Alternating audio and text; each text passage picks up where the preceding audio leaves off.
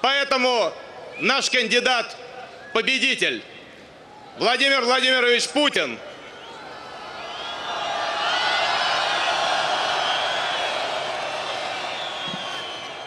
Дорогие друзья, я прежде всего хочу поблагодарить всех граждан России, которые принимали сегодня участие в выборах президента Российской Федерации. Особая благодарность, конечно, тем, кто собрался сегодня здесь, в Москве, всем, кто поддерживает нас в каждом уголке нашей огромной, необъятной Родины. Спасибо всем, кто сказал «да» великой России. Я вас спросил однажды, мы победим?